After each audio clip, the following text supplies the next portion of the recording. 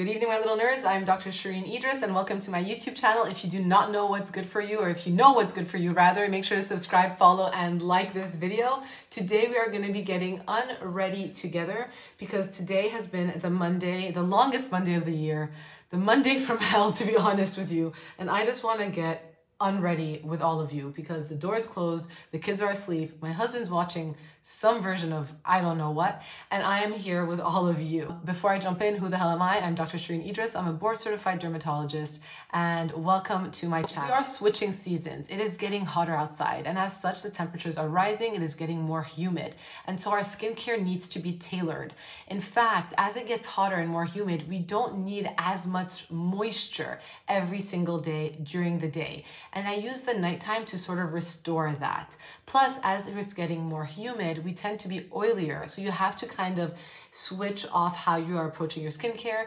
And last, you become slightly more sensitive. And with the stronger sun, you have to be more protective over your skin. And that is how you can tailor your retinol tretinoin situation at night. Before we jump into all the goodies of skincare, Pillow Talk Derm cannot be Pillow Talk Derm without the pills. And so let us start our nighttime routine with our pill intake. Guys, buckle up, get ready. So for those of you who know, I have had two babies. I have a five-year-old and a three-year-old. I'm almost 40 years old.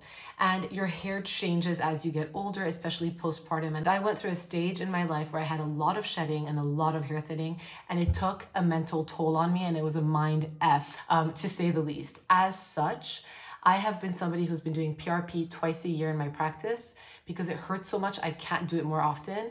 And therefore, in order for your hair to hold on to its density, you have to be consistent with your hair care, just like your skincare. So I personally do take Nutrafol. I carry it in my practice. It has a cult following. They recommend taking four pills at once. I take two at night and two in the morning. So I start my routine with two Nutrafol pills at night. Um, FYI, it is loaded in antioxidants with curcumin, which is the active of turmeric, as well as another antioxidant known as tocotrienol extract. Now, fun fact, curcumin has over 28 clinical studies in which the benefits have been shown to help with cellular regeneration that is needed for hair growth. And they actually did a six months clinical trial, which is huge, and it showed that 81% of the participants noticed an increase in thickness of their hair. So sign me up because I do not want to go back to where I used to be postpartum. Following pills of Nutrafol, Xyzal, and I am not sponsored by these people, is my main squeeze because this little buddy nugget of a gem right here saves me from becoming a blowfish by the morning and keeps my allergies in check. And rehydrate, of course. And last but not least, Flonase because allergy season is in full swing. Now, side note, something I have learned from my allergist friend. I used to kind of inject like this or spray like that. She taught me that you need to bring your head down, close your nostril and point it towards your ear.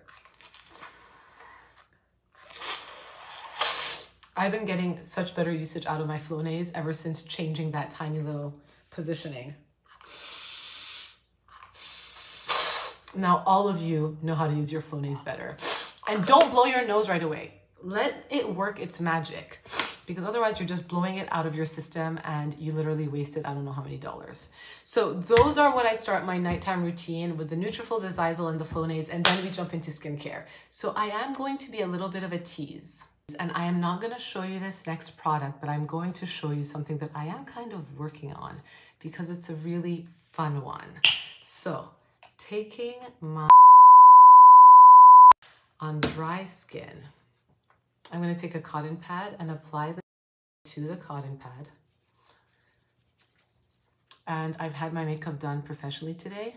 So this is one that I'm going to do for the very first time in front of all of you.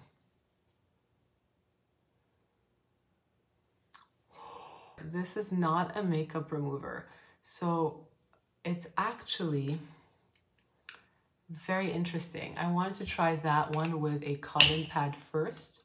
The next one, I'm just gonna go to town and massage it into my face. And then I'll go wash it off.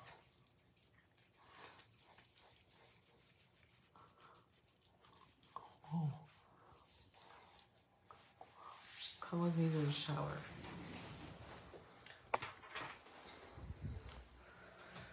You guys will be right here.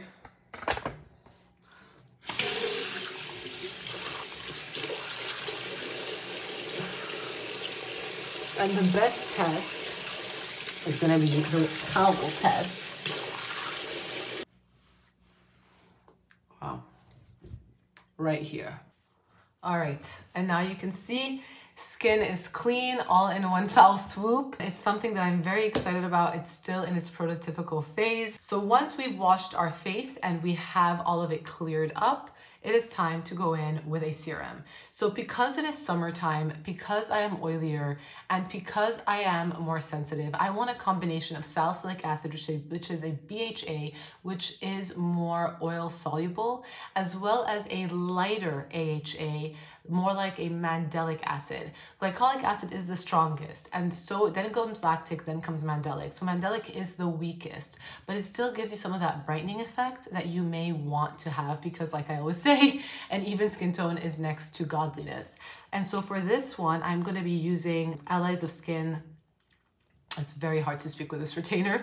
The Mandelic Pigmentation Corrector Night Serum, which has 11% mandelic acid. It also has salicylic acid and lactic acid. I don't love that they call it 11% because that's a complex, but it's a combination of all of three of those acids.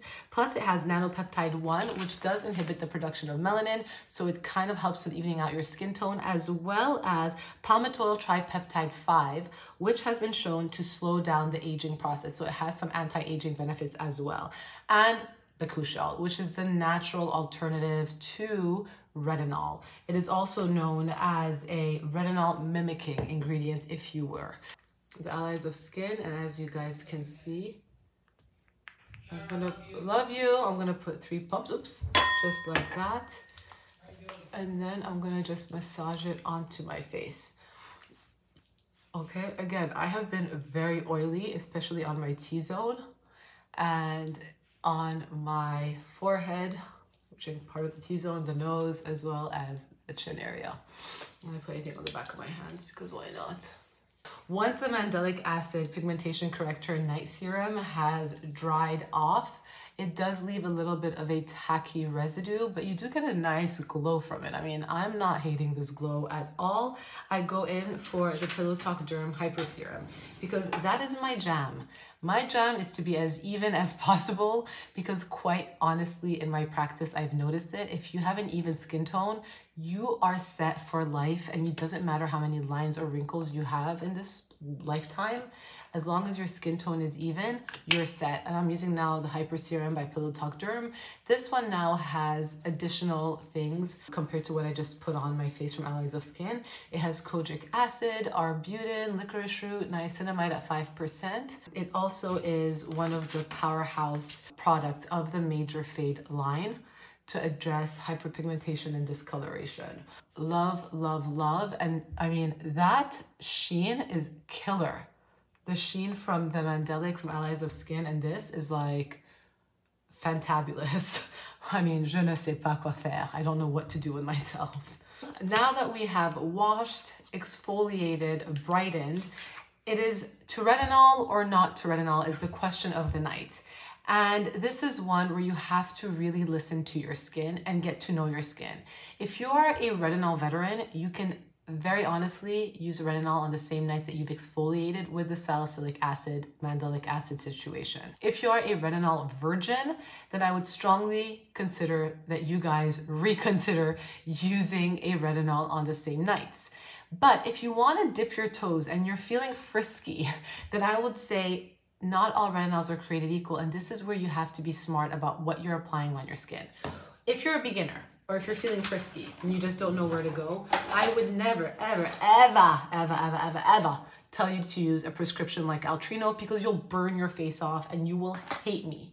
But would I tell you to try using an over-the-counter retinol at its lowest percentage? Probably. And now that we have the Granactive retinoids, the ones which are the cousins of retinols, which are apparently not as aggressive and lighter, you have even more options to play with than just going down a whole retinaldehyde, retinol, retinal situation. You have the Granactive retinols, retinoids that you can actually play with as well. And this one is one by e.l.f. Skin. It is their Skin Youth Boosting Advanced Night Retinoid Serum. Now, it's not quite advanced because it is made up of 1% Granactive retinoid, which is actually equal to 0.1% hydroxypinacolone retinoate, which is lighter even than Skin Rox's number one, which they have for retinols. It is also married to 0.06% retinal, so you have a little bit of that oomph in there, and it has a couple of antioxidants. I love that it comes in a pump. It already wins my heart. It comes in a opaque pump, so that is great.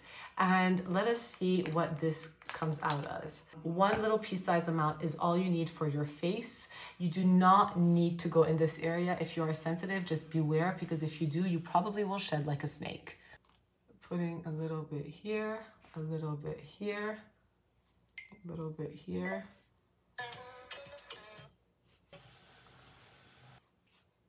Lightly dab under our eyes. Now here's another quick trick for all of you guys. On the neck, we may be skipping on all the crazy moisturizers and going less aggressive in the summertime. But the one area of your body which you really shouldn't skimp on, especially as you get older, is the neck. And I love Cetraben for the neck. So what I do here is I apply it first to really lock in the hydration here because your neck is gonna need, I'm choking myself, as much as you can possibly get. And if you're being really, really, really adventurous, a tiny little bit, even less than that pea size on top of the Cetraben is gonna help your neck in the long run.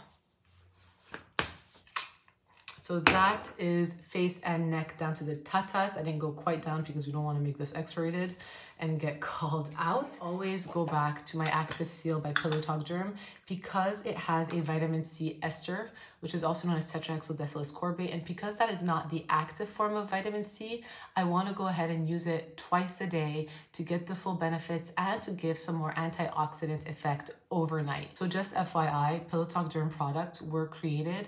Oh, I just I created all of them to match all skin types, meaning whether you are oily, whether you are greasy, whether you are dry, whether you're a combination, whether you're quote unquote normal skin, you can use the products and all you really need to do is layer. So it's just enough, especially if you have oily skin. If you have really dry skin or live in a very dry climate, you will get the benefit from all of the products because they all have actives targeting specific problems, but you may need to layer it in with, or pat it in rather, with just a thicker, richer, basic moisturizer moisturizer in order to hold on to that hydration. And voila. missed it on the let me turn off that TikTok. So I was trying to multitask and create a TikTok as I was doing this whole video for you guys tonight. So that is what I do on my face at night in the summertime. If I'm feeling hypersensitive, I will pare back the mandelic acid and I would maybe skip it. I do try to exfoliate on average two to three times a week at night. If I'm at the beach, obviously I'll try to go a little bit less. And then in the morning, by the way, FYI, sometimes I didn't shower tonight. Sometimes when it's very hot, I come in and I shower at night. And after the shower, I've been recently turned on to this Sol de Janeiro Beija Flor Elasti Cream. Now, do I really believe that their plant-based collagen is gonna help me make collagen? No, I don't. Um, do I really believe that their cacao oil is going to be as strong as retinol? No, but it does have some retinol mimicking properties. It is a vitamin A, and that does help to nourish the skin. And it does have squalane, which is a really good hydrator for your skin.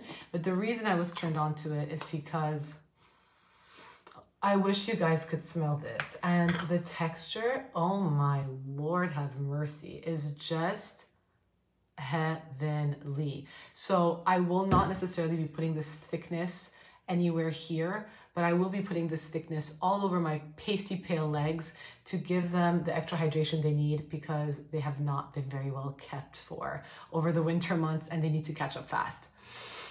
It smells divine and we're not wasting this at all. Um, even though I'm not, I'm gonna spare you guys the sights of my legs because I don't wanna give you guys nightmares tonight, but it's amazing, amazing. And voila, that is my transitioning into summer skincare routine. I hope you guys enjoyed it and I will see you guys next week. Have a great Saturday and happy Memorial Day weekend for all of those who are celebrating. And I hope you guys have a lot of fun in the sun with sunscreen and all of your loved ones. Have a great weekend, guys.